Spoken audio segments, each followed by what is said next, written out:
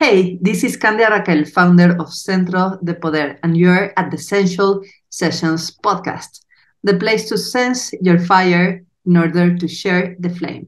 And if you haven't subscribed already, please go to www.centrodepoder.com and get yourself signed up to get these episodes delivered weekly on your inbox. And today is a special day because we have a very special guest. This is Andy Ly, a UX designer, a mindful magician, and a mindfulness practitioner. Welcome, Andy. Such a pleasure to have you here. Thank you so much, Candy. I'm happy to be here.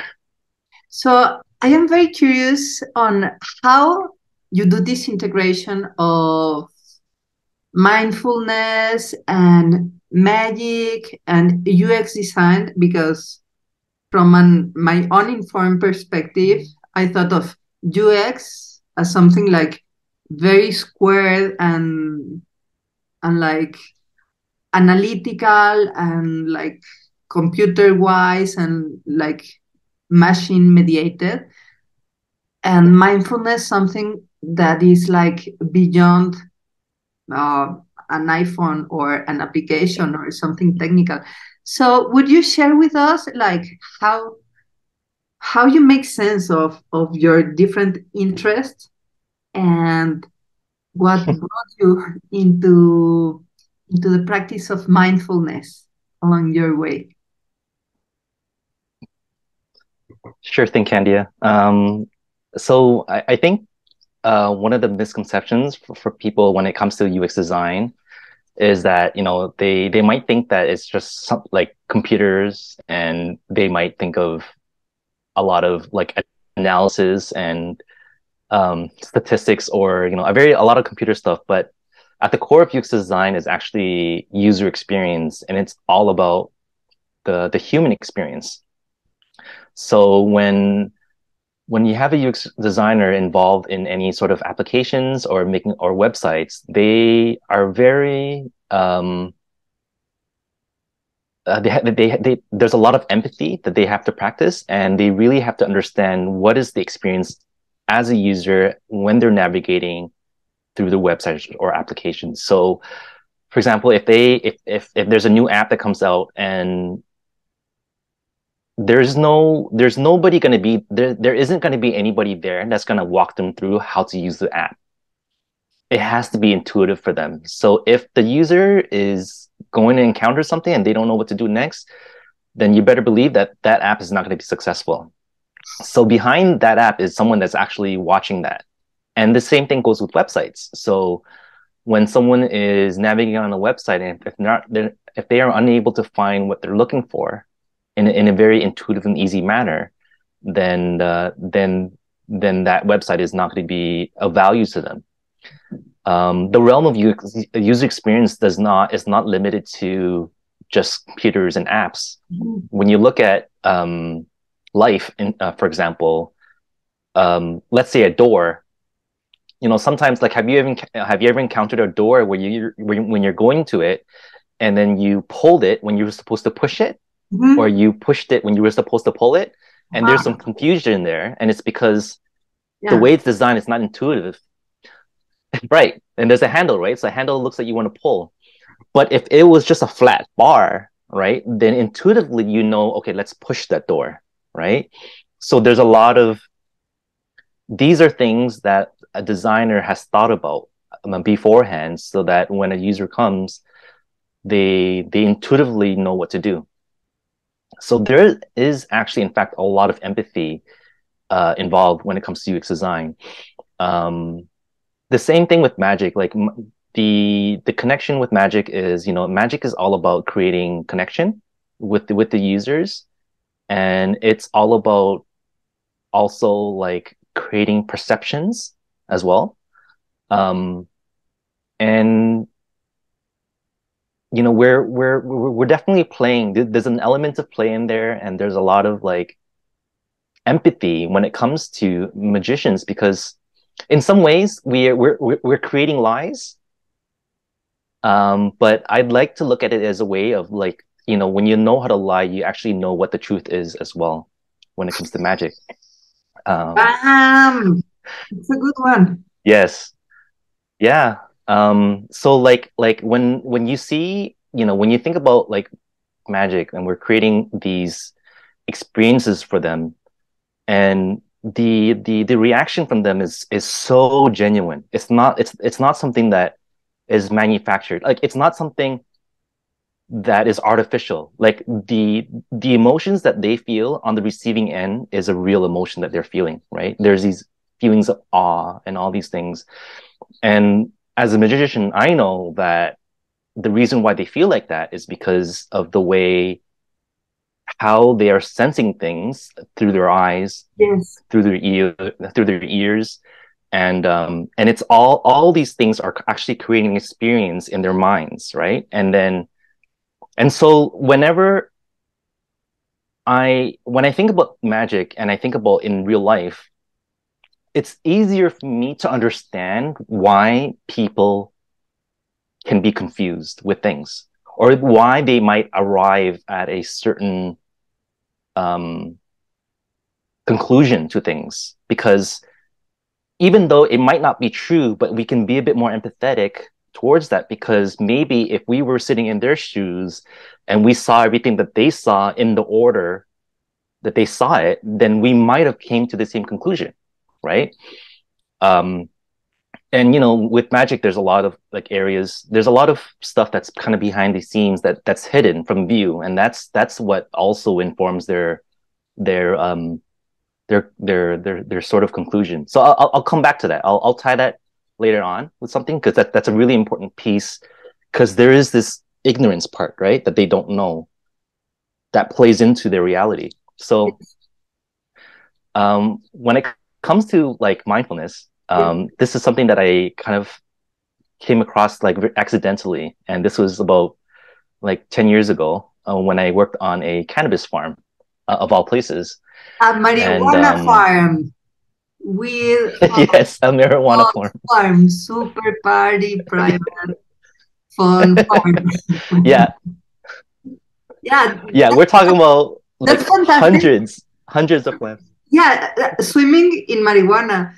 And that that is like a little bit controversial for me being Mexican and living in Mexico that I don't know the final status of of marijuana weed legalization, but as far as I know, it's ambiguous.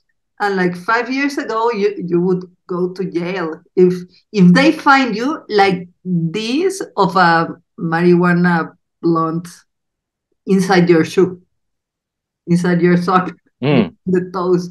Like wow. yeah, like you go to jail for for illegal possession. Wow. yeah, so so it's like Wow, that's about like yeah, there, there, there were thousands of marijuana plants, and it's like what? So yeah, yeah. so if you're listening or watching this podcast in in a country where weed is uh, penalized and illegal, like worry not. Andy worked in the U.S. on under all the permits in Canada. Ah, in Canada. Yeah. That's super yes. cool. yes. So in and Canada, with plants like, yeah. like like hot vibes. And Canada is super cold. How, how how did they manage to survive, and what did you do so they didn't die? Well, um, okay. So first off, like Canada, um, I think a lot of people have this impression that Canada is pretty cold, and it can be cold in the wintertime.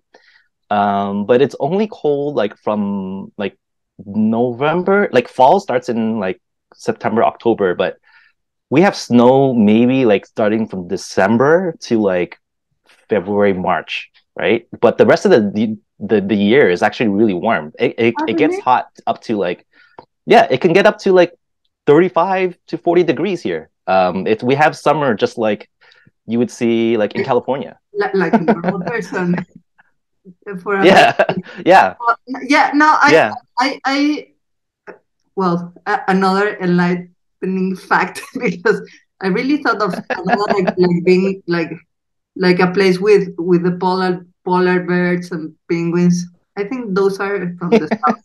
But yeah, like, like, it's next to Groenland, and like the North Pole is like two steps from there, so must be not very warm. But nice to know that it's not that that that cold. So, yeah. so what? It, yeah. Yeah, it, it, can it can be cold. Uh, but yeah, actually this year, like I don't know with global warming, I, I don't know what's going on, but our we haven't had a lot of snow either, and I I, I love. I, I've been I've been wanting it to snow actually, so that I can go snowboarding. Um, but anyways, we we're we're actually where I'm situated. So I'm in uh like Toronto, so yeah. which is and then like and then in southern Ontario, so it's a little bit I guess more south as well. So um, and we're we're near the uh, the I guess the Niagara region. So there's like the Niagara Falls, probably. Maybe you're familiar with that. Um, yeah. and there's a lot of vineyards. There's a lot of like Ontario wines that grow here as well.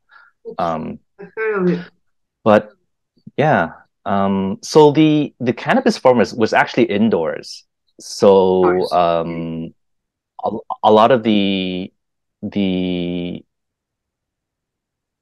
the infrastructure was actually built with um, artificial lights those okay. in there. So we so a lot of the lights were all built in, and then we we we actually had to so so in that way we're able to um, um, grow them like twenty four hour seven, right? And uh, just to kind of like give our listeners uh, some context, like in terms of Canada, I think at that time the the government was providing licenses for uh, for people to grow um, their own cannabis mm-hmm. uh, initially, especially if if if they're they're users that were that needed it for their own health benefits, and some of them they had these licenses to be able to grow uh, a certain amount of uh, a certain number of plants, and then and because they might not have the um, the the resources to be able to grow themselves, then what happens is they would like give it to someone else and they would grow on behalf of them. And so that was actually what what happened was with with with us. So there was someone that had all these licenses and they were growing for them. Okay. Um, yeah, and uh, and then today, actually, cannabis is is not only legal, but it's it's it's sold in dispensaries like locally. Like you can actually drive somewhere to a store and you can actually buy it. Yeah, and like it's taxed as well. Taxed. Like buy a Coca-Cola and a cannabis blunt. yeah. Yeah, and and a bunch of donuts for the munchies afterwards. yeah, pretty much. It's a whole different world now. Um, yeah, it's it's it's great yeah. that is legalized because then things get in the norm and they're like it's it's a cleaner process as it should be, uh, especially with cannabis that is such a unique plant that is great for creating textiles, uh, to make paper. Like it has thousands of use besides uh, the medis- medical use and and the high times party use. Yeah. so tell us yeah how, how what did you learn with and in that environment like because that must be like you go to to the farm like it's it's another kind of lifestyle. Like from toronto that is like a, a high tech city to to a farm. How was that? Oh man it was a very humbling experience. Like like when I look back and when I think about what was happening, I I was actually like in in some ways when I think about the environment, I was kind of like in a retreat environment.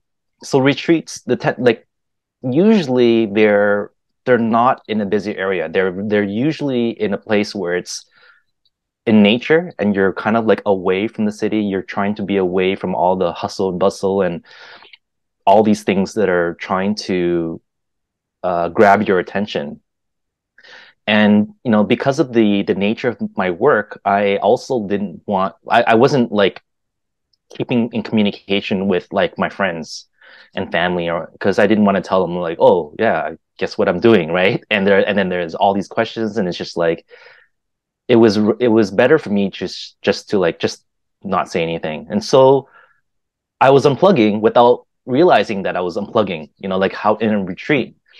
And because of the nature of the work as well, was on a farm. So it was like really like the next closest store was like very, very far away. Like you you'd have to drive like, you know, 20 minutes, half an hour just just to get to a store. So like um so we we tried to stay there like like we we didn't leave uh, much, and and there wasn't a lot of people working there either. And, and there there were times where it was just me by myself, you know, in this huge barn, and I I couldn't tell you how big it is, but uh, you know, we're we're talking about hundreds of plants, maybe up to a thousand plants that was there, and and you know, every time I would water the plants, I would water like a thousand liters. Like I can like a thousand liters is a lot of water. Like like you're talking about like like um, a, a yeah, it would take pool. like two hours. Yeah, like a swimming pool of water or a jacuzzi. I wouldn't say I wouldn't. I, I uh maybe a jacuzzi. Yeah, maybe a jacuzzi. Yeah. Um. Yeah, like maybe maybe like a hot, a hot tub. Maybe two like two hot tubs. Maybe maybe Uh-huh. more. Um.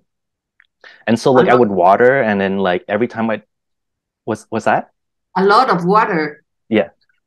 And a lot Yeah, of time. Yeah. Oh yeah, a lot of water. Yeah. Yes. How long So there's a you? I I was like so every time I would water, it would take me like ha uh like 30 seconds to water each plant, and it would it would be like two hours to finish watering like half of the the plants, right? And so while I was watering, I would have this timer that I would have with my hand, and then so that it, so I didn't have to think about like watering, and because I can't rely on counting, so I'd be like one, two, three, and if if if I, if I was impatient, that I would count like one, two, like what 30, 30 seconds really fast, right?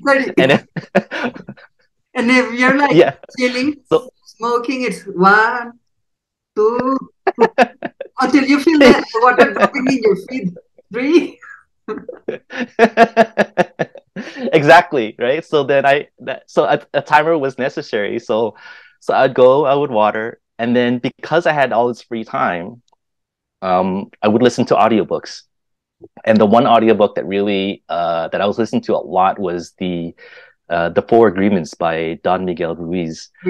And um Great. this was one of the books that I oh amazing. Amazing book. I it, it was my I would say the real the real sort of like entry to spirituality even though I've I've read the the Bible before and I've I've I'm a I grew up as a Catholic and I went to Catholic school and did all those things. This this I would say this book was the first book that was more on the spiritual side. And um yeah and then you know as i was listening to it i i it was you know it seemed really obvious what the author was saying but at the same time there's a lot of terminology that used a lot of these very flowery metaphor language like with the with the toltec um, which is the i guess the ancient ancient that's the ancient uh, tradition i guess like um i'm not sure like i'm not i'm not really well versed in that maybe you'll know more about the toltecs Yeah, yeah, it's it's the like the the wisdom lineage from one of the ancient Mexican cultures, the the Toltec. Mm. It's the warrior way of the Toltecs. Yes. And it's so beautiful. And you know, a, a- as I was listening to it, like like first it's it seems obvious, but then that's the ego talking. And then like every time I listen more and more, it gets more deeper and deeper. And and yeah, and it was really interesting kind of feeling. I almost felt that like I was in a in a bit of a trance when I was listening to this. And if you think about the conditions I was in, I didn't there wasn't a lot of input from I like I, like I wasn't getting all this stimulation from all these other things, like the worries of the busyness of life, right? Oh, I have to do this, I have to do that, I have to do this. Like all I had to care about was one, I need to water plants. Two, I need to eat, shower, sleep. Nice. that's it. Like there's nothing else. There- Nice. You know what I mean? Yeah. So so then I would go and then I would like care for these plants and then, you know, and then eventually over time, um, I I really got I, I I noticed a lot of things of the plants and I learned so much from it and understanding like what like what what is it that you need in order for a plant to really thrive? And um, and one of the things that I feel is really important for every single human being to learn is like how to grow a plant. I think that should be a requirement for everyone because um, you can't get angry at a plant if it doesn't grow the way that that you want it to, right? And the more you get angry at it, the more it's not going to work. And so there's, in in some ways, the the plant is a reflection of of the gardener, and uh, and it can only thrive in the right environment. And so the, the the environment is something that you have to create as the gardener. It's something that we have to kind of uh, bring awareness to, right? And so, you know, if the plant is sick, um, we we need to be able to look at the leaves and see, okay, you know, why, like, like is is is it yellow? Where is it turning yellow? Is it is it on the new growth that's turning yellow? Is the yellow on the old leaves? Is it coming from the inside of the leaf? Is coming from the outside of the leaf? These are all sort of like nutri- nutrient deficiencies. Um, what about the temperature? Are we overwatering? Are we underwatering? Um, the plants. Sometimes you have to prune the leaves too in the right areas for it to grow to grow in the right areas, and that's the same thing in life too. Like when you think about how many things what are the things that you have to be able to let go of? What what are the things that you have to cut in order for you to be able to grow in other areas in in other ways? Because a lot of the energy is being diverted you know? And it's it has sort of the same type of metaphors. And um and so eventually like over time i got really good at it. And um and and so good that I was able to sort of get the attention of like the people uh, who were, um, I guess, running, like financing the the, the operation, and um, and I got uh, I got um, compensated very very handsomely because of that, and um, and then for me that was a moment of like self actualization because there was so much love and care and dedication for me to really put into just this this plant and to be able to rec- be recognized for it. And there was it was a moment for me to realize that that value was created from within me right? It was something that given the the focus if there was enough focus and concentration if you remove a lot of distractions there's something that we can always you know produce right? As as as i think any every human being. So that so that was a moment of self-actualization but that's not the spiritual awakening yet. So the spiritual awakening came when i went to a, a bookstore. And um i remembered like you know like going to Indigo Books, and then I, I was kind of walking through, and I had this, a, like this huge mustache, right? Like because I didn't care about how I looked, right? And I wasn't trying to impress anybody, you know. And it's just like my hair would be like was all over here, and and I and I remember like walking through the bookstore, and I see this one book, and um, let me just grab it for you. It's this it's this book called the the uh, the assertiveness workbook. Screenshot. and it's a uh, yeah the assertiveness workbook. So it's it's a psychology book by um, randy j. Paterson. And it's a book about communication styles. And uh, and i was kind of going through flipping through and i was like oh this is cool assertiveness. I've heard of this before. I'm like i'm flipping through and then i was look, looking at all these communication styles and then there's like there's passive and then there's like aggressive and there's passive aggressive and passive aggressive was something that i've i've always learned about i've heard of but i'd never quite understood what it was and then so i was reading and i'm like oh, interesting. And it was giving me some some examples. And um, I was like, okay, I, I want to learn about this. So I, I so I buy this book. I take it with me. I, I go back to the farmhouse and I'm and I'm reading through it. And then so I'm going through it, I'm reading it. I'm like, okay, I'm like, I, I can see the distinctions between each of the, the, the communication styles. And then I start to learn about the stress response. And then the stress response, you know, what what what is actually happening during the body. So it's like the and it's, you know, this this this this this response that was built into our nervous system because you know when you know in, in ancient times when we were endangered you know if there was like a saber-toothed tiger that was that was running after you then you you're the nat the, the natural tendencies for the body to uh, allocate all of this blood into like these certain areas uh, to your arms into your legs the heart will start to palpitate. The the attention starts to be very focused. Our breathing starts to be a lot more shallow and really fast because it's really uh, preparing us. And these are things that are all happening on a subconscious level.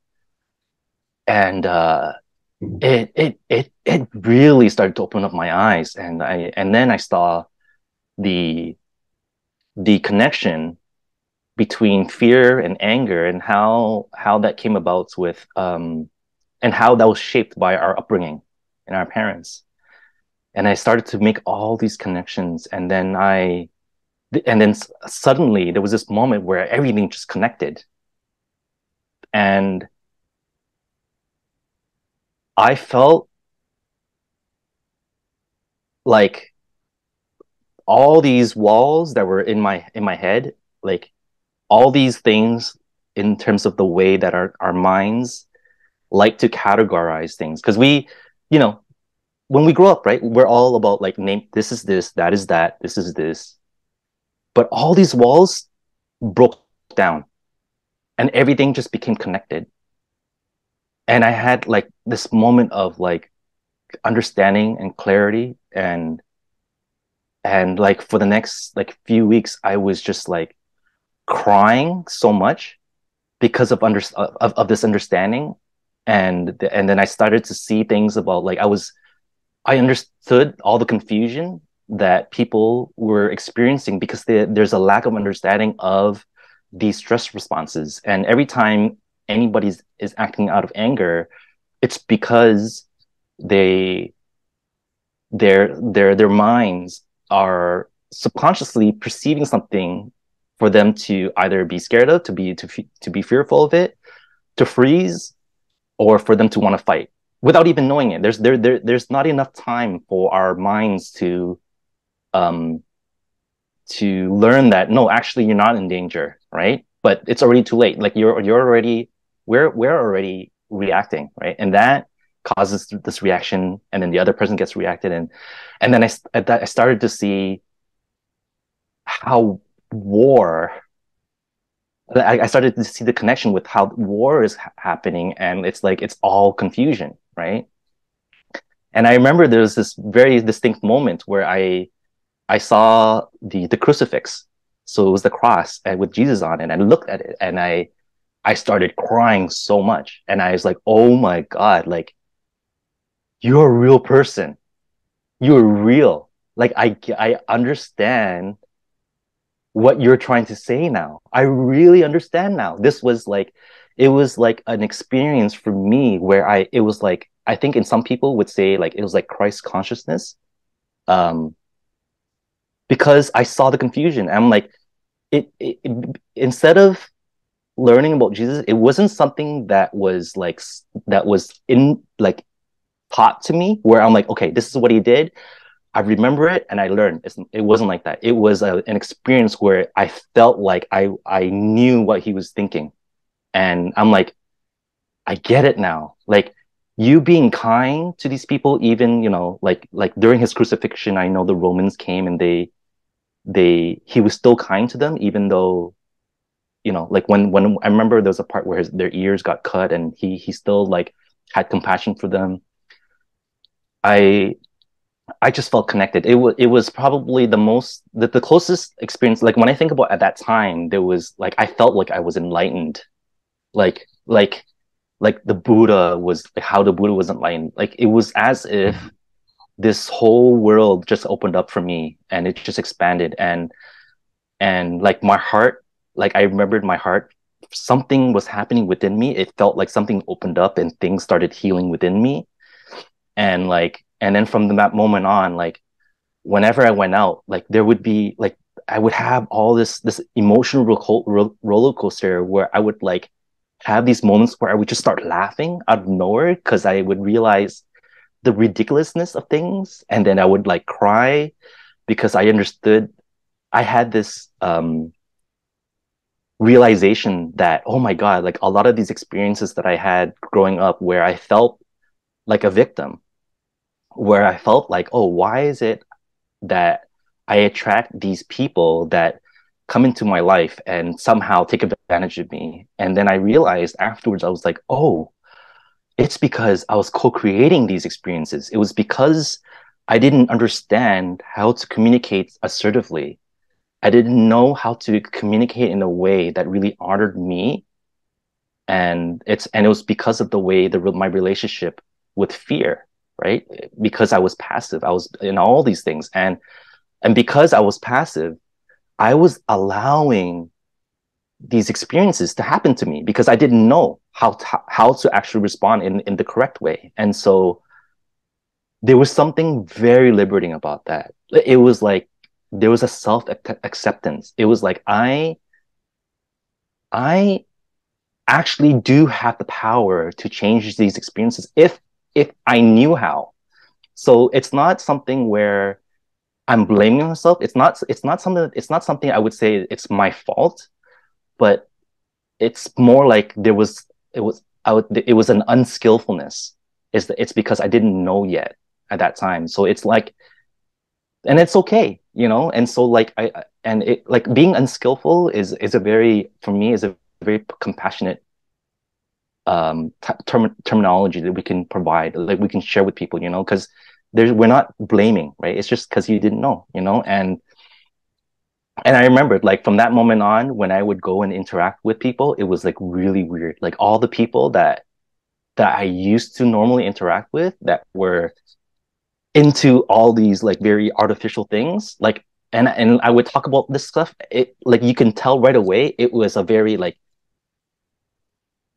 repulsive type of interaction. Like it's like getting to the same pole of the magnet you know you know when you get like the north and north magnet and you push it and just pushes the way? Uh-huh. yeah it was kind of like that. Like all the people that were that i used to associate with like on a more artificial level it just naturally like like it, it pulled us apart.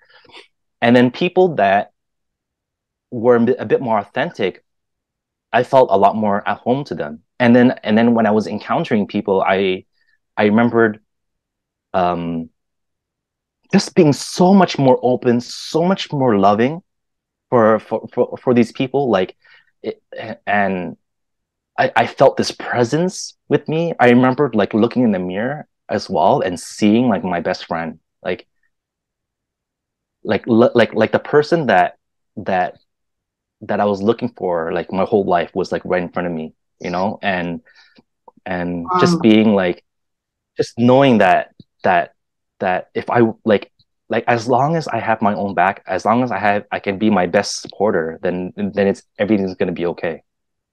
And and that was the beginning. And then you know from there I started to like learn a little bit about like mindfulness, and I learned I learned about Thich Nhat Hanh, Zen Master Thich Nhat Hanh, who's the Vietnamese Zen master.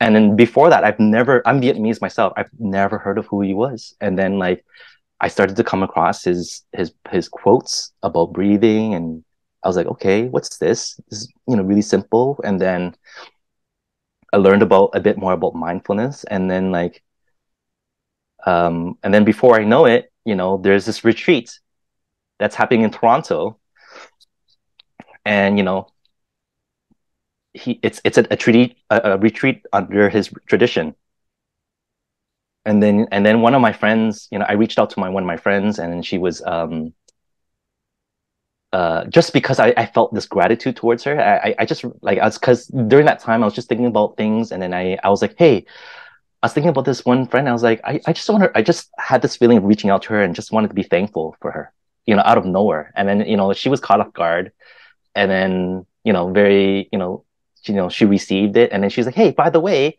there's this retreat going on. I was like, Hey, really? And then, you know, and then so it's like all these signs started to like pull me into like this retreat.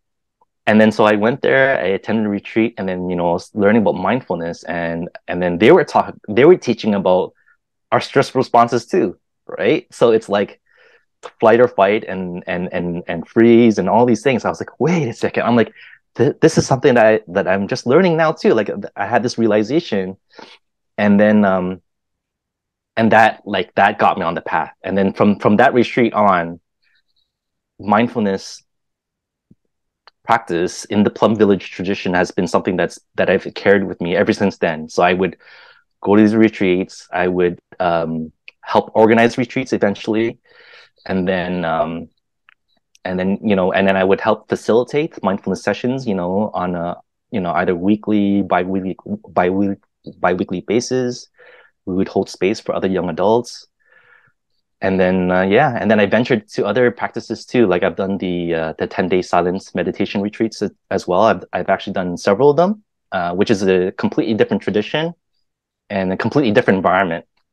But anyways, I uh, long story, but I guess I can, uh, yeah, I just want to share that.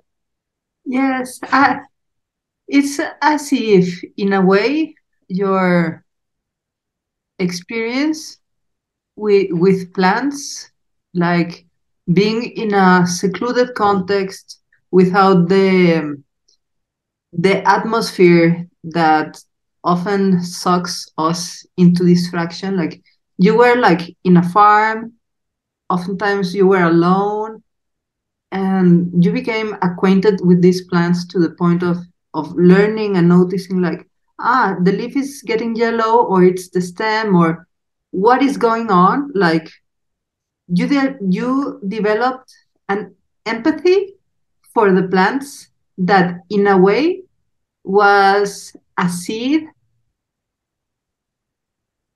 or the content or you created yeah it was a seed and at the same time like a fertile ground for for the spiritual awakening that you had afterwards. But it's it's like yeah it makes sense like the journey the process and and in a way the putting the worldly noise and relations aside like i am not telling anything about this to my family because why give explanations this is about me in the same way that spiritual awakening and realization is about you with yourself and no one else. Like it's not about proving something to someone. And it gets intimate uh, in a in a very interesting like kind of soft strength of having your own back but for yourself. And that set in a way like like the basis of your broad understanding in relation with other people, even though you will never see that people that is on the other side of the app or the interface that you design. But it makes sense. Like, I don't know who designed the these things from Apple, but like one day I realized that it has a little thingy on one side, so so you can stick the cable from the other side and like they it clicks perfectly when you are not like live and people looking at you and you get like clumsy and nervous and it doesn't happen. But well you get the idea like someone yeah someone, someone thought about having the controls like handy. Wow now i feel it. Like this position of my hand is say well, I have my spoon because of the sugar of the coffee. Every mm-hmm. time you bring food to your, your mouth, this is the journey of your hand. And guess where the controls of the earpods are placed? Like, of course, it was someone that thought about you by sensing its own body and made it easy for you, so easy that it was intuitive.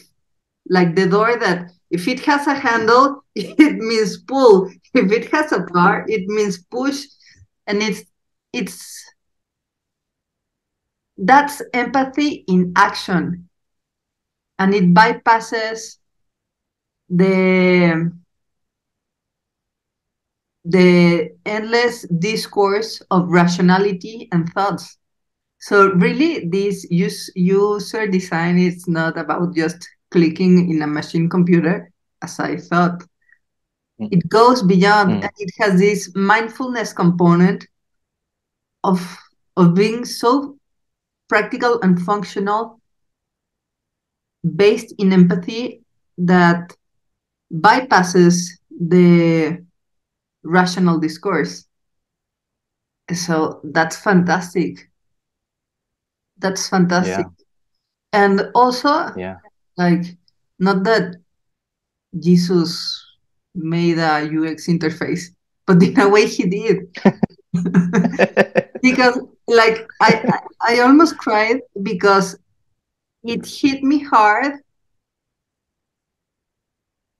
you, this this this memory of yours when you face the cross and you understood like i wasn't there but i i saw myself there and i i understood too like it's super fucking sad and like it's the worst that can happen. How a human hanged in a cross like like it's horrible and mm. it's heartbreaking.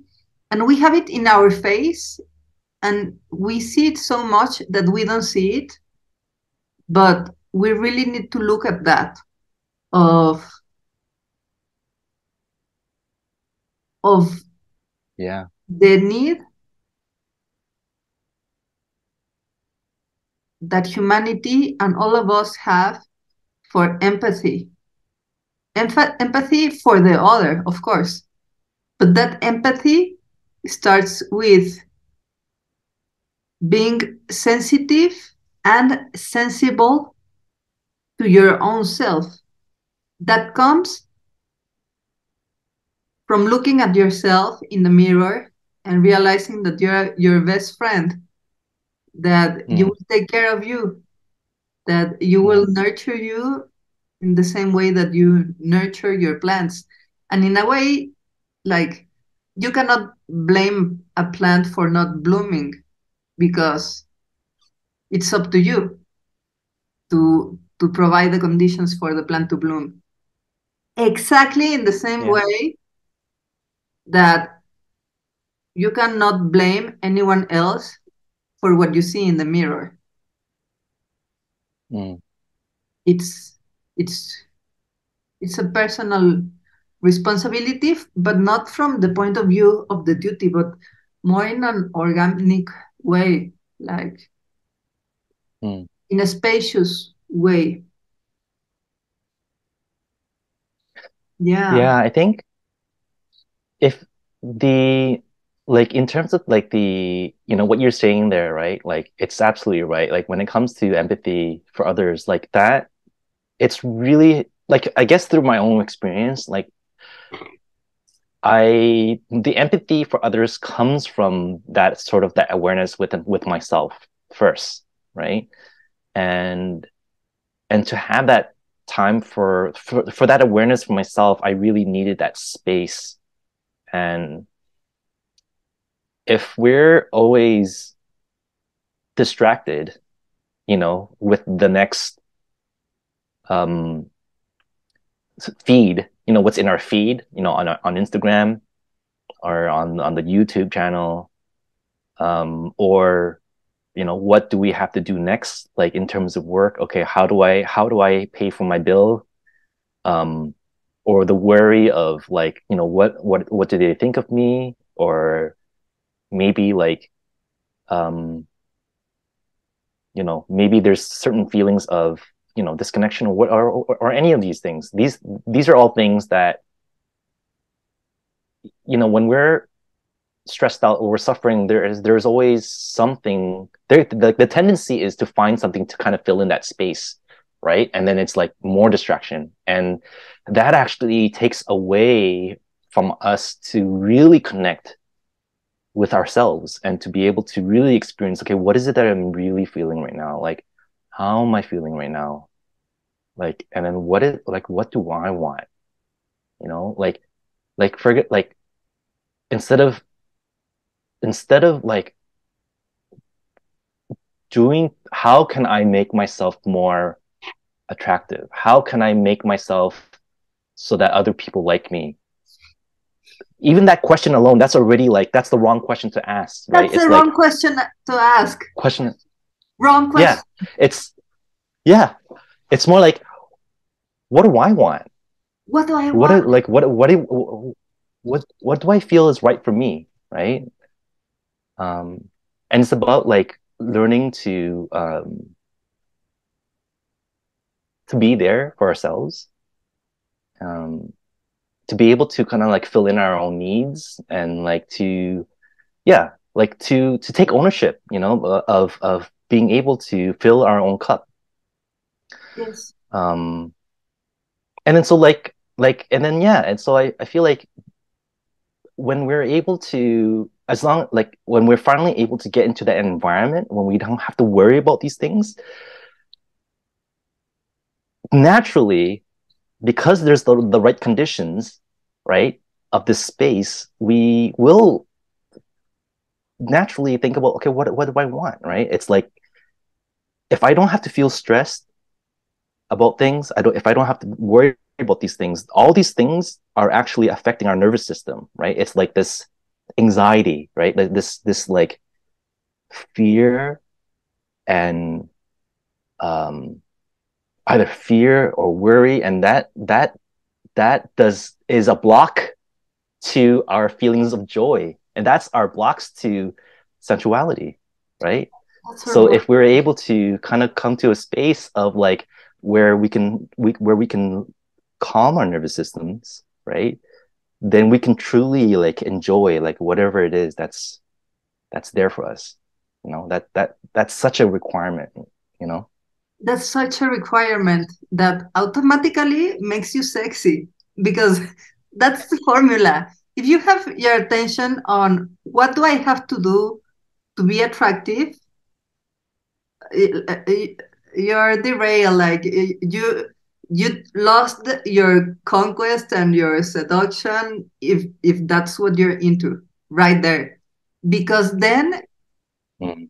the focus of your attention is outside of the experience of you, of sensing yourself, and mm. from the ownership of your own experience, and especially the ownership of your own pleasure and the delight in you. That's that's what is in actuality attractive like you like someone because they have like I don't know they they own the mystery of being themselves and they enjoy how does it how it feels to be who they are. And there are people that are that is gorgeous like extremely pretty and that they are very attractive but there are also like very beautiful like with the perfect face height muscle uh, skinny uh, whatever trending. And like they look nice but after like three seconds of st- stalking they look like dry and i have mm-hmm. like when I first realized that was i'm gonna confess I was a raver teenage girl. so I went to, I escaped. hey, went away. Me too. climbed the walls from, from my mom's house. And then I had like the friends waiting for me on the other side. And yeah, raves. And of course, like there were people in raves or any kind of party that after you arrived, greet anyone, everyone, had your drink or your juice, very healthy. After like one hour or two hours, like you're already settled in the space, doing your thing, enjoying. And I always became like hypnotized, not hypnotized, fascinated with the people that danced, like not not necessarily dancer, like anyone dancing at, at a party, and you can see the people that is dancing pretending like it's you become so naked in your movement, like you cannot die lie when when you're moving to try to look cool versus the guys or the girls that are dancing like really enjoying themselves even with their eye, eyes closed because they don't care how they look like there's nothing more interesting to them than their the experience of themselves like sensing the pleasure going on through their movements and having this like wonderful merging that is actually our one true nature that is body mind together. And those people like at times it was like that guy is ugly and has a big belly and i don't know why i am so fascinated. But with time i understood or even girls like i am straight i am not into i am not lesbian. I have lesbian friends but like there are women that are astounding fascinating and it's their sensuality. Is this connection that like they, they are having such a good time in their flesh that makes you want to join the party. And mm-hmm. if you're thinking on how how should i what what do i have to do to be attractive then your focus on attention is not in your pleasure and you're there's there's no party going on in you to invite someone else. so that's why mm-hmm. kind of look dry when you're falling into people pleasing or trying to mm-hmm, to comply to someone else's standards. And and it's the same thing. Yeah. Like the other side of the coin, it's being indifferent. Because, I mean, if you're indifferent to someone, you're already lost because you're even making the effort to not care when you do care. like when you really don't care, like you don't even think about it. And I think yeah, that's the the same thing with with attractiveness. So you just nail the exact point and the un- unsensuality which is, which is this yeah. mindfulness being your your best friend so then you have a party going on in you yeah it you know there because there's no need for anyone else anymore right when we if we really can feel for ourselves like like like I, I i'm like i'm doing this for me right? Like naturally there is no need for anyone else. Like for, for someone that could be looking at you know just imagine someone on the outside looking at it right? It, it's just like what you said. It's like oh it's because this person doesn't care right? So okay i'm gonna be like that. I'm i'm not gonna care too but that's a that's a very artificial way of doing it right it's like yeah you can you can act that way but like let's see how long that'll last you right? Because because it's it's just a, a, a performance, right?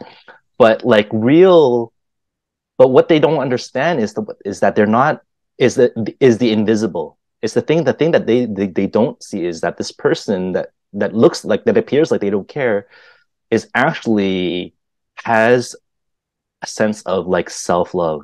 Like they have a very good relationship with their own self. And they they're to be with them no matter what. Like it, they, they don't have I, I don't want to say like zero judgments. Maybe maybe the eh, like like you know judgments can still creep up from time to time but in that moment that person is just really in love with themselves. They they they, they only there is no there's no ego that's getting in the way of them really losing themselves in in that present moment you know they all they care about is is the present moment. being carried with Yes. the present moment you know with the music or whatever it is that's it's really like they become it's it's as if they just be they really become what they're feeling you know it's not it's not something that's very conscious you know Yes, it, it's not Yeah. It's not schemed. Mm. It's not a strategy of I'm gonna make No. this guy love me. Oh no, super lost. And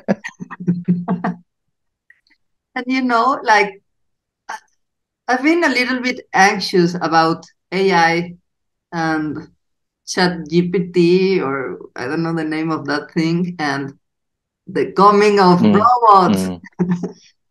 And the question everyone asks, like, can robots replace us? Like, like, what's the frontier?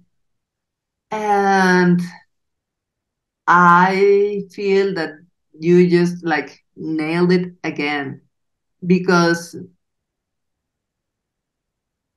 robots, uh, in the same way that I did it, like I connected this thing with the other thing that like this doesn't happen by itself like someone a guy or a gal made it and the computer and the app and some someone made it. So it's in the service of someone else like in the in the service to the commands of the programmer and uh, it's a system in the service of the user. So we it's not like robots will become humans. That's impossible. But we get like robotized when falling into that kind of thinking of what can i do to be attractive to that person? Because then you organize yourself systemically in function of the other person. And then you Yeah. like like bypass the greatest power that we have as living beings that is the ability to choose. The ability to choose. So instead of of owning like that one in you that is deliberately de- delivered and chooses in the way in the same way that you choose where to place your attention you put yourself in a way in in a position of being chosen. So and i've been there like i i can say that with that clarity because i, I i've done i confess that i've done the spells and like yeah let's do the astrology and the synastry and see if we cosmically match and to be because I really want him for myself and no one else because yes, sometimes women women, you know. but then like you lose yourself doing that. And the way and the place where you own yourself is when you choose someone that chooses you. So it's not like your your focus it's like broadly on ev- everyone but your focus is where there's focus back to you reciprocity Mm. that's when Mm. when the magic of the mirroring and relationships really happen it's not that it's your other half and completes you but it does have like this equality like there are areas where you match like in a mirror like okay i see you but i i see you because i choose to see you because you're seeing me too Mm. Yeah, I think like when I when I'm hearing that is we we there our tendency is to attract people who are kind of vibing on this on that kind of same frequency as us. And if there are wounds within us, if there are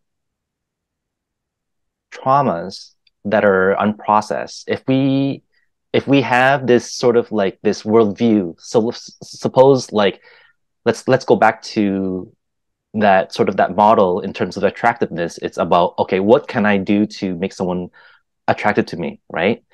If that is their worldview, then they will, you know, they will do things to to create this sort of like for lack of a better word, this artificial attractiveness then what's going to happen is they're going to attract someone that's like that too. Yes. Right. And they're going to, they're going to be able to see each other in that way. Um, and likewise, you know, someone that is, that, that already has this sense of self-love within themselves, they, when they, they really understand, uh, their own values and who they are, then the tendency is to, to attract someone that has sort of very similar values as well. And they they might you know and then we'll naturally repel we'll naturally repel people that aren't like that you know that you some people might feel that a discomfort of like you being so i don't know like i don't know yeah i, I think I, I think like like for me my i know my own personal experience like I, like I know I can really touch my vulnerability. I can be more real, and I think sometimes it scares people because they're not used to it. They're like, oh, whoa, like it's, um, and that's kind of a good thing, you know. It's like you want, you know, some maybe sometimes in the moment you're like, oh, you know, they like you you you want them. It's like oh, like they're, they're turned away by it, but ultimately it's it's a good thing because because you want someone that can kind of match you, you know, on that on that same level that can see you, just like you said. Um, yeah, there was another thought, but anyways. Uh, anyways, it takes mindfulness. Yeah, it'll come back. It will it will circle back. So yeah, and it goes back to empathy. Like empathy, but not in an Instagram feed influencer kind of way mm. Mm. that oh yeah i listen to you but i listen to you to be cool so i am cool and and like i can keep up with the trends but what i am getting now from this is a different perspective and actually new for me on empathy because I had it rationalized. But now I am considering empathy as as a practice of sensitivity but like sensing in yourself like like sensing your heart breaking or the heartbreakedness of the other like with your boundaries of course like you don't get yourself sucked in but empathy in getting getting the sense in your experience on how may be the experience of the other. But in a very practical and physical way like yeah the, the controls of the of the earpods are are handy. And the the space in the mug in the handle of the mug like it fits my skinny fingers but also like bigger fingers and maybe even a, a kid's fingers can can hold on this. So as well, the interface of our Zoom call right now, like I and you know, it's like I am feeling something very nice. I am feeling that someone actually thought about me, like me, Candia, me, like four years ago on the Zoom headquarters, making the code for the Zoom. Like, you know, like like your your mom thought about you, like changing your diapers and making your milk bottles and and your grandma, your mother, and your you know, like we're we're here yes because of ourselves, but we're also here because of the empathy of thousands of millions of others along generations. Because there there has been people that could saw could see in advance our yellowing leaves and did something for us without us even realizing so yeah empathy goes a long way but yeah. but but it's challenging to be em- empathetic because it's gonna be hard if you're looking for recognition and applause for being empathetic like i don't know how many times does the programmers of the zoom code get recognized because of their empathy? I mean they they they they, they get recognized with with getting their jobs. Right. not getting fired. They, they, yeah not getting fired. Um you know like you know these tech companies like it's like it, it's all about creating a really good culture. Like if you're talented if you're gonna if you're gonna create something like really a good a really good product like you're gonna be someone that's like of high value and there's gonna be other companies that's gonna like want you to work for their company. So there's there's so much value when it comes to being able to listen right? And then to to really really feel what is it that that that person experience is experiencing the other side. The least the, the more the, the least amount of friction that you can create then the better the experience is going to be just think about that like just think of that, that meta- metaphor like how like that metaphor is like be applied to so many things. It's like our own our ability to feel you know like I, like I was just um reading the other day that like in terms of the you know men and women in terms of the this this sexual experience right? Like in order for them to feel an orgasm for men it's really easy but for women it all starts with like feeling safe. Yeah. and it's all about creating that environment first and like all these things you know? And it's like um so that's the friction you know? Like if we can get like if we can get that person out of their head and not having to feel worried you know like that body image if they can truly like feel comfortable in their own skin and they feel honored and and all these things they can they can totally feel free to to let go right? And and then to actually allow themselves and to give themselves the, the, the permission to feel you know?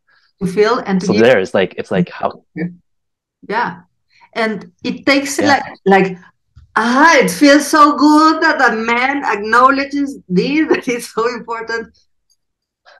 There should be an award here for a mindful guy. Yes. And also like i am empathetic for for guys that like we are different species. I mean i am a biologist. I know we are the same species but mm-hmm the way we are we organize our pleasure is so different. At least my dog is making noises. Because also physically like simply our hormones like we go from two polar extremes in one month. Like we run on estrogen like half of the month, and the other half of the month it's the opposite. Then it's progesterone, progesterona. I don't know in in English. So it's like it's really like being many women in in one, and the experience of pleasure to to me and for a lot of women that I've worked with, it's so non-localized. Like, yeah, it's sexual pleasure. It's definitely genitally organized, but it goes beyond. Like, it's it's definitely not not enough. And well, I I make a little disclaimer here that I am a heterosexual uh, biological woman woman identified also as a woman in gender and that I don't know much besides that. So I know, but I know there's much. So I I ask for uh, some pa- patience for the audience that knows more. It's, this is just my experience. But what I can say is that simply the the the feminine genitals are like embedded in the body and it's like if somehow like the your whole body is the sex it's it's not like so located as uh, a men's penis and and the combo but it's like everything it's involved to the point of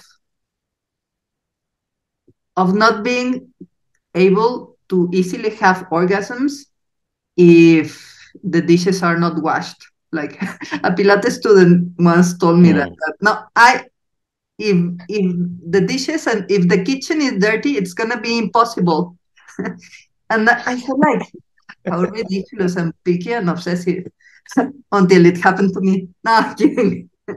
but I understand because, because there's like um a kind of mindfulness context in the environment like like in arranging the the frames in the wall and and the sense of of your plants and how the cushions are arranged in the bed like all of those little nuanced stuff um, are precisely the context of proper watering, watering, proper lighting, and necessary tending to the self in order for pleasure to bloom in in a feminine in a feminine way mm. and at the yeah. same time like yeah yeah, yeah go ahead yeah, the so like I was just gonna say like like so so I'm I'm hearing this connection now. Like I see this thread. Um like you, you talked about the dirty dishes because what the dirty dishes is is something that's very distracting, right? So that that's that's like these are things that calls the attention of our ego mind because our ego mind is all about identifying things. It's it's it's constantly scanning things and trying to look for things that are that are off and it's and it's just our our survival instincts right mm-hmm. when i think about ux design right when you when you visit a website like one of like one of the signs of a really good design is that you don't see anything that stands out that is very like out of the ordinary like the whole experience when you're going through an app or through a website, it just it should it should just feel like you're flowing through everything. The moment that there's something that doesn't look that looks a little bit out of place, that is like a little bit close to the the frame or like that's unconventional, right away the mind recognizes it immediately, and it and there's like friction there. So like good design is actually invisible. And the same thing when it comes to magic tricks when I'm when I'm performing a magic trick, when I'm performing a magic trick, all the movements that I do, it's not about being quicker than the eye. That is a misconception that people have when it comes to magic. Magic is all about looking very natural. All the movements are very are all hidden. It and it's hidden in the guise of very natural movement that people they, they, they just don't recognize.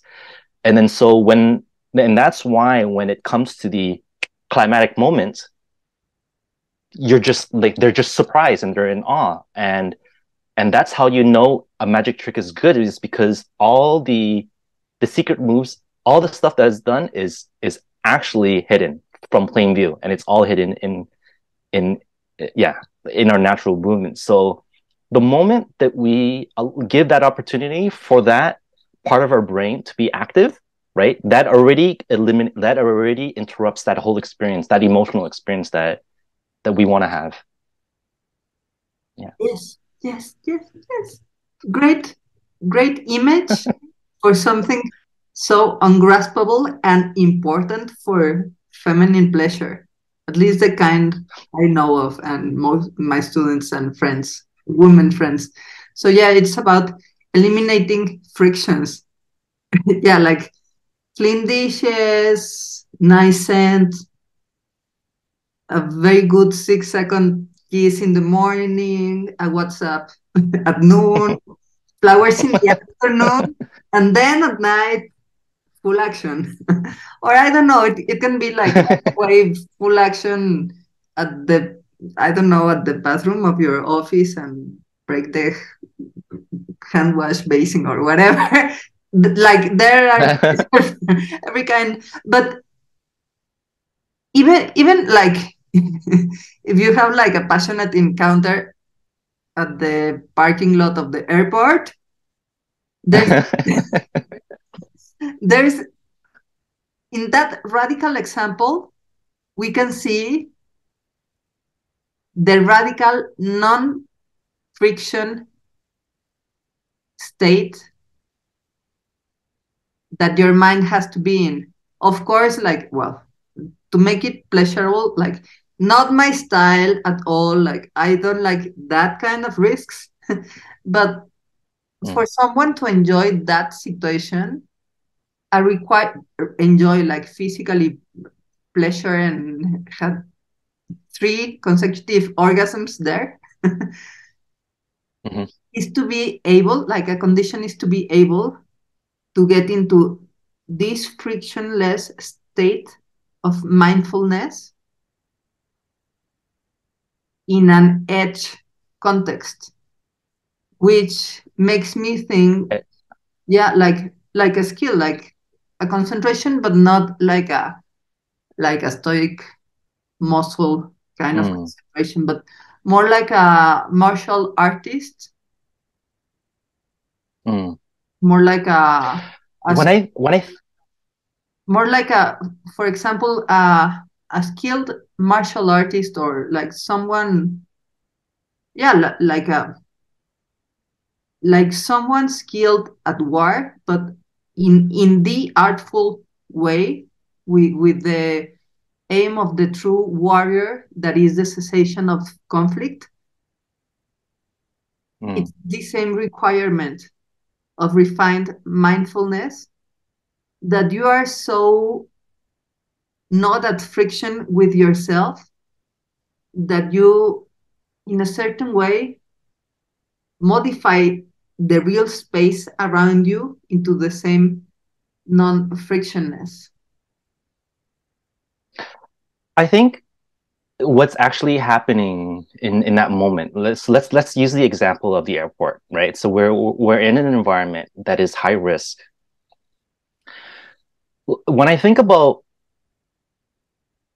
how that like what's happening in relation to let's say my meditation practice. So like when i think about when i'm sitting in my silent meditation so like at the 10 day course right?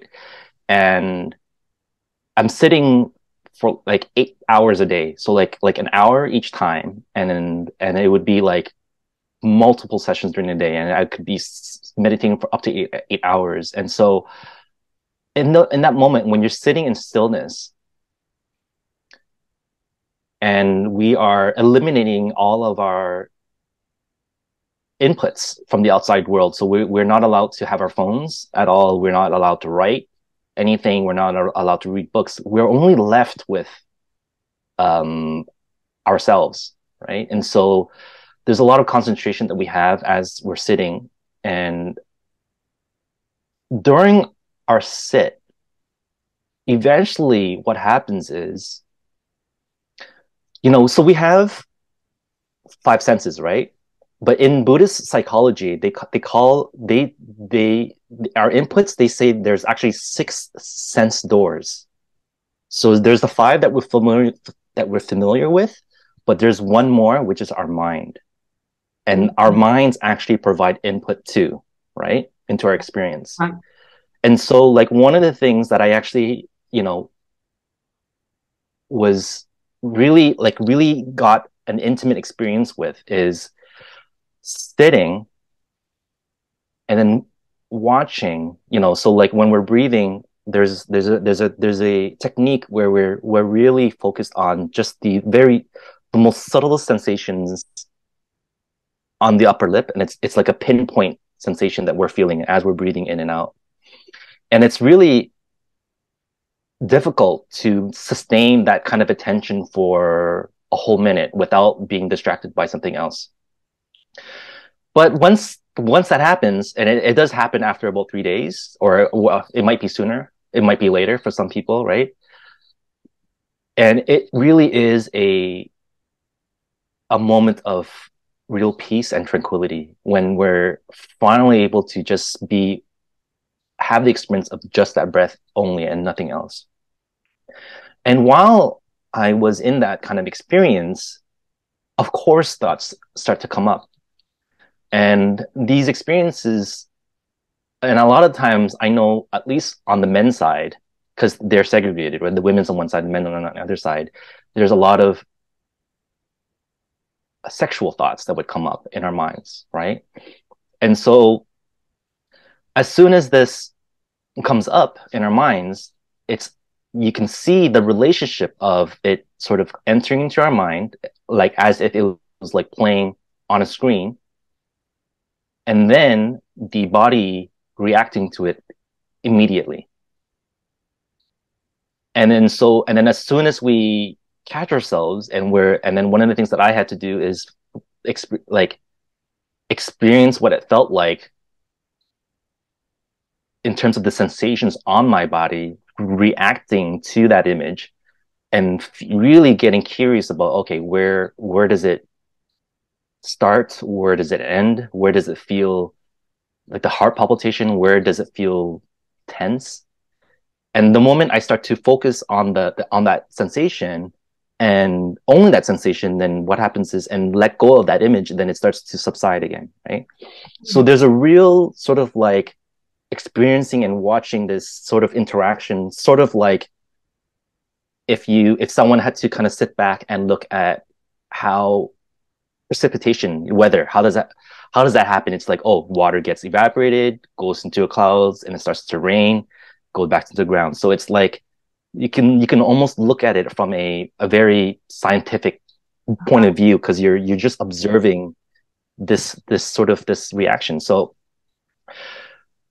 so tying this back to like this this this the airport, I think that what's actually happening is the there's something that's playing in the mind and it's and it's creating this experience that's already there right in the mind. And then you know and anything that happens to the mind it feels very real. Like you think about dreams right when we're when we're dreaming it's happening in the mind and the body starts to react you know? So like when when that whatever is playing the mind is so is really present and we're already anticipating all these things the body starts to react in ways where it starts to anticipate all that. And i feel that that what's happening there is that all that reaction that's happening on the body all the hormones or whatever that's being released for the, for the body in, in in anticipation for what's to come i feel like it hijacks the, any part of that part of the brain that would normally feel anxious you know mm-hmm. maybe there is like some sort of anxiety maybe there is this energy there, but the thing is, is that the, the mind is so engulfed with like wanting to enjoy this that it it it actually overcomes everything. And I would actually counter I, I would actually almost want to say that it's there's a lack of mindfulness there because the emo like the, the the the bodily reaction is so overpowering that like there's no it becomes this I like I almost want to see it's a it's a very primitive um like a primitive response. It's it's it's like it's like like like our bodies like wanting to naturally procreate. It's just like, you know, when you think about animals, animals don't they don't go and learn sexual education. They just know how, right? Yeah. Naturally. And it's like I feel like it's it's a part of our bodies that is just doing what it what it naturally wants to do but because the mind somehow this this this individual has been able to kind of like allow themselves to have these types of um, imagery and these things in their minds and there's no disconnect. Like there's nothing that is like like that part of our brain that's like cautious and like like like afraid like that like that all that gets bypassed you know because the the the the, the craving is so strong. You know when you think about like um you know if you want that chocolate or that ice cream or whatever it is it's like no i'm or i'm getting it no matter what yeah it's it's yeah. survival like yeah. you you need the pizza to survive like you cannot not eat you're gonna die so that that's for sure and the sexual drive it's like we wouldn't be here if our parents wouldn't be here if our grandpa if our great great great grandfather parents didn't have the drive to bring life forth through procreation. Like yeah we are in another wonderful uh, area in, in regards of that that you can sex without having kids which is wonderful. But the the drive is yeah of course. Yeah because what could be better than bringing kids to the world out of love and not out of commitment or out of the spring heat you know even if it's winter so you're pointing to something fundamental because like maybe i don't maybe I don't think about that because I have studied a lot. Now kidding, but like maybe there's people that just goes on trying to deal with their experience, and the only thing that they have to to to handle that is their limited and restrictive education by biased morals of you are like you can have sex until you are married and have only sex for procreation. Like come on. I mean 100% respect if that gets you on and you're into it. But the thing is that mm-hmm. uh, hiding your libido your impulses your desires your fantasies it's it's not the way like repression it's not the way. It's gonna bottle up and mm. come out as cancer. So don't do that. Whereas what you share, like, okay, like you notice the the sexual fantasy or the image coming into your mind, and instead of trying to block it, you assimilate it, but but not in a not even in a structured way, but in a sensitive awareness way like you feel the rush in the heart and you see the things happening in your body. And what i realize now as i'm saying this that it's actually revitalizing that you have a fantasy coming in and instead of saying no it wasn't me who thought that i don't i don't want to be that or whatever it's like having the curiosity of letting it run through you. And it's mm. revitalizing and as everything in life fades away and then you may have mm. like one or two minutes of serenity until the next sexual distraction comes but that but it's it's a distraction. So that's mm. that's a very like mindfulness is a like the what you're sharing like mindfulness not not with with your rationality but mindfulness in the way of involving your whole self like your presence in the space your bodily heart palpitation experience like you are in the experience of mindfulness with all your might. You bring forth yes. all who you are into that moment. And mm. you don't hide away from from the distractions.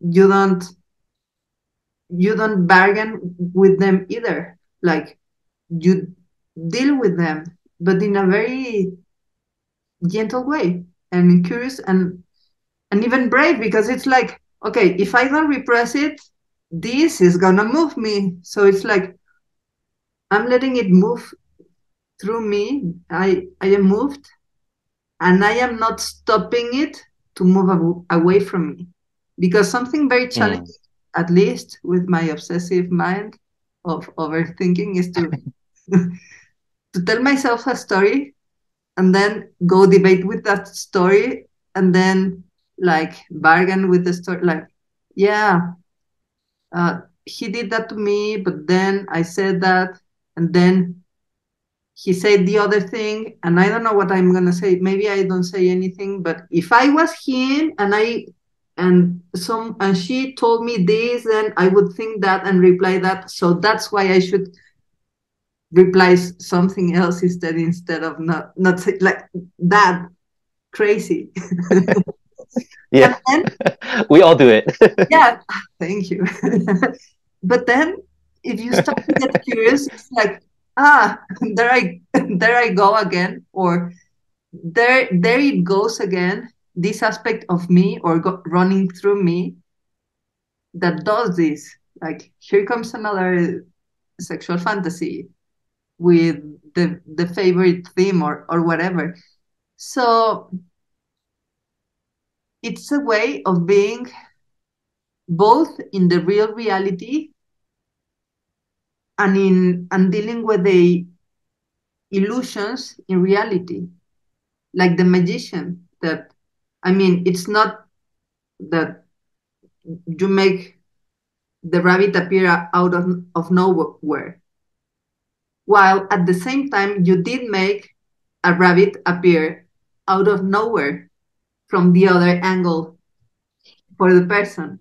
So it's like, mm-hmm. aha, it, it's like an embodied presence to make it sound very cliche. Mm. But that's really what it is.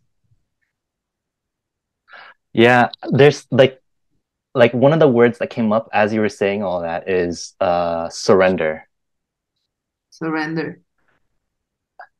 Yeah. Um, it's like like stop getting in our stop getting in our own way, right?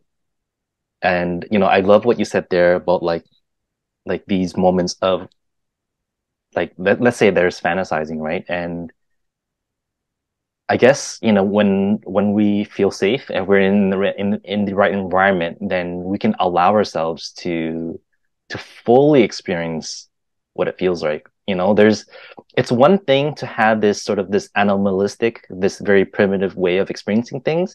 And it, and there's another thing where it's happening but we're fully aware of it all happening as we're going through with it you know? It's like oh yeah i can feel my heart palpitation. I can feel the anticipation. I, I can feel everything you know and allowing ourselves to giving our, ourselves like uh, permission to to feel all these things and and if we like someone it, instead of going into this into the head and thinking about strategically what I can do if if my body really feels this way maybe I I'm just gonna surrender and and just say exactly how I feel. Yes. Even if I even if I'm gonna be vulnerable, even if I'm vulnerable, but at least like you said, there's this boldness that almost comes out of nowhere. It's almost unexpected because it's like, wow, this person is saying how they feel, you know, and it's sometimes it's so refreshing, you know, and and it it it it, it opens up the doors. I know there's been many times for me where I don't know how the hell I'm like, where did that come from, Andy? Like, how did you come up with that? You know, like how did you come with that? Like, how did you say that? It's, it's and it was because in that moment, like I I completely let let go of any judgment. I'm just gonna say what I'm gonna feel. Like like like just say it, you know. And and it's always a lot of times it's been met with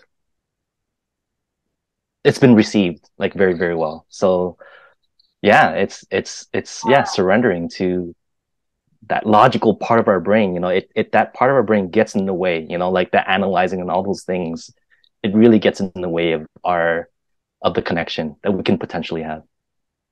Yeah just say what you feel like the courage is in the surrender no, not in hiding and being like like courage is in in the surrender like yeah.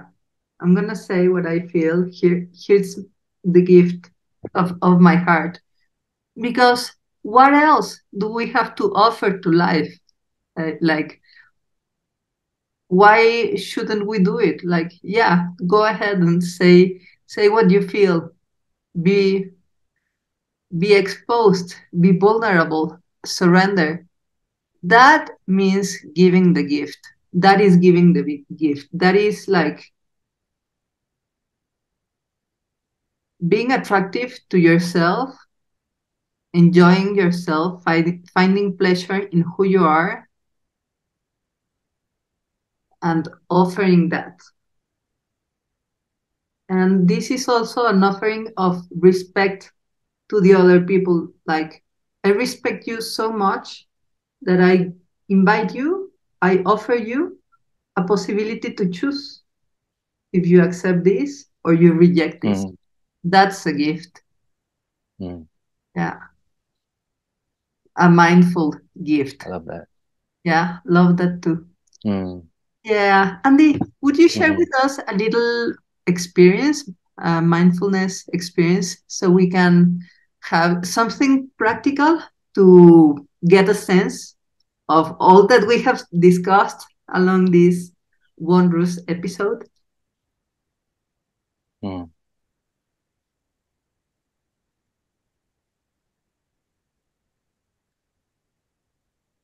I think um,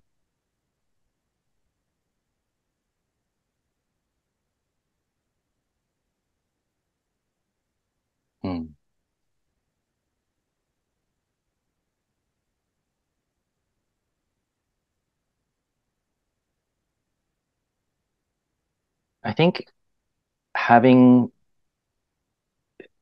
taking some time away for ourselves to maybe meditate and that could be on a cushion it could be on the chair it doesn't matter where you are but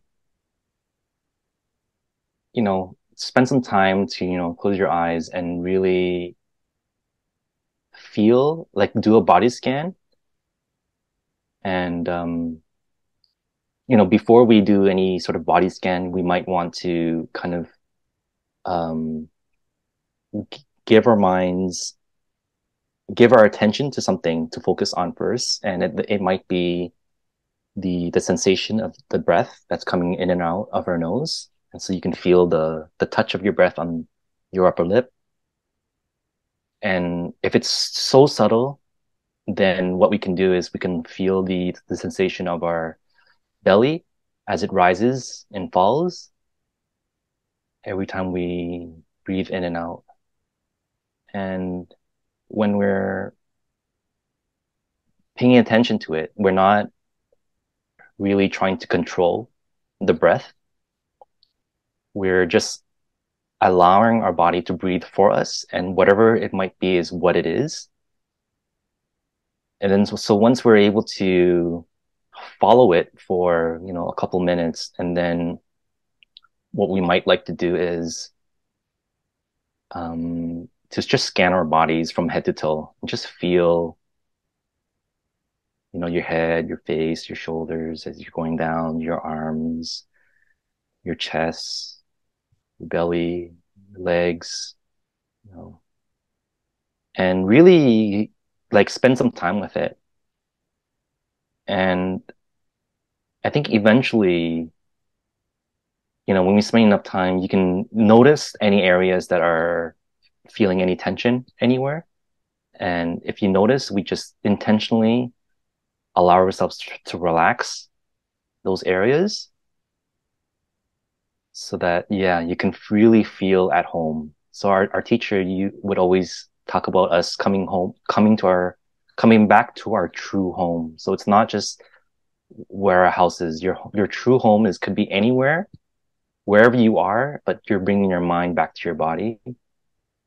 And you want the feeling to be like, it's as if, you know, you're, you're going to work somewhere and then you finally go home and you just go, you just sit on the couch and you just like relax and you just, you want that kind of feeling of, being so comfortable in your body.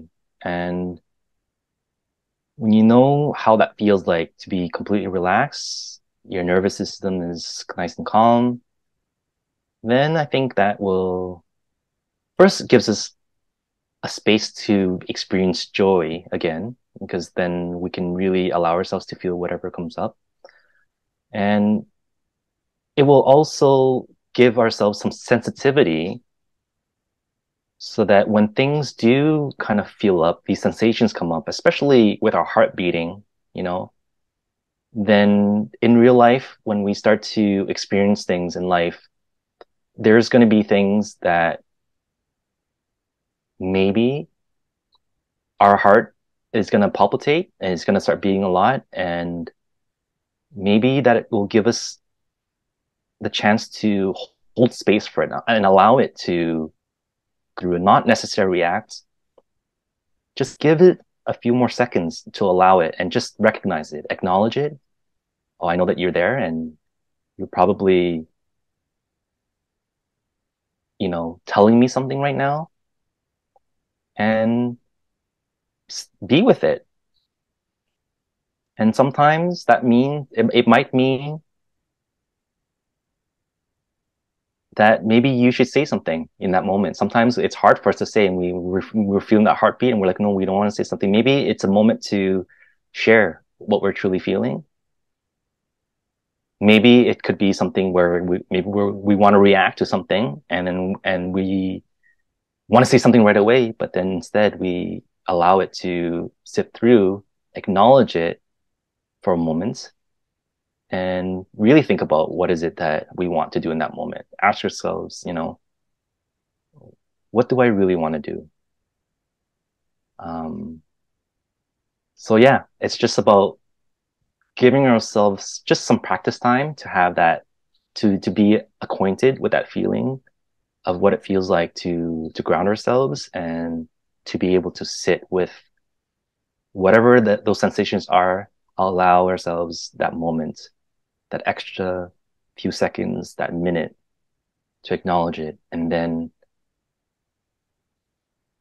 make our decision on what we want to do.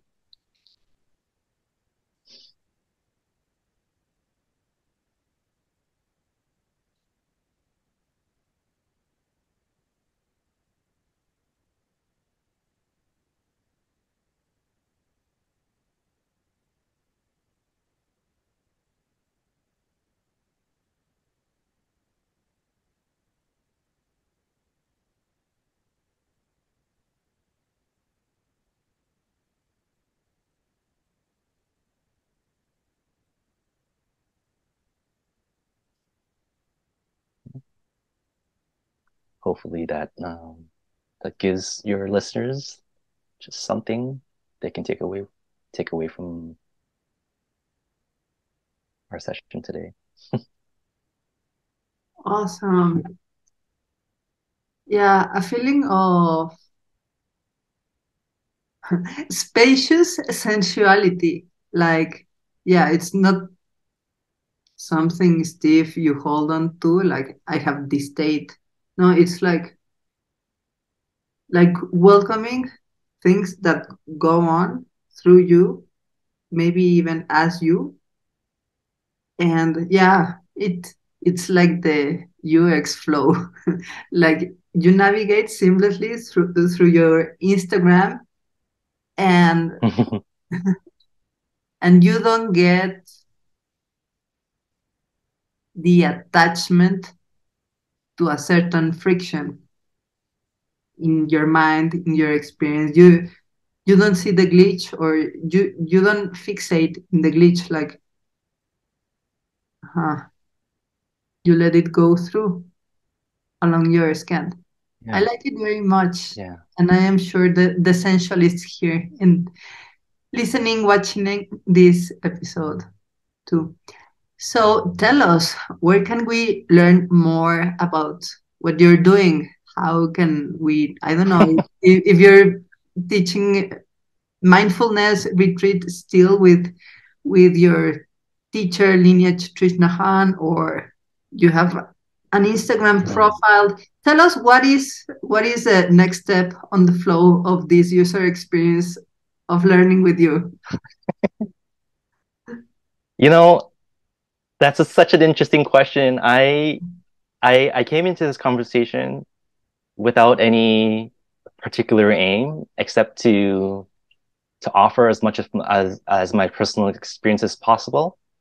And um but you know for anyone that wants to just hear about my own personal journey and uh you know they can visit me at mindful magician which is uh my so instagram so it's mindful magician and if you're interested in learning a bit more uh, about the these mindfulness practices, so the the Plum Village tradition, um, you can uh, visit uh, plumvillage.org. So plum like the fruits village.org, and there is a resource on there where you can find a local sangha. So a sangha uh, means a community of other practitioners. And um, in our in, in the in the practice we we find it's one of the three gems jewels that we can take refuge in. And so when we are able to connect with other people who also want to kind of lead this life of mindfulness it actually helps us to strengthen our own practice so coming back to creating that right environment.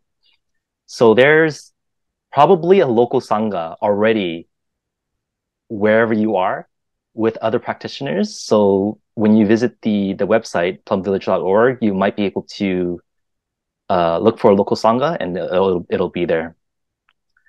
Um,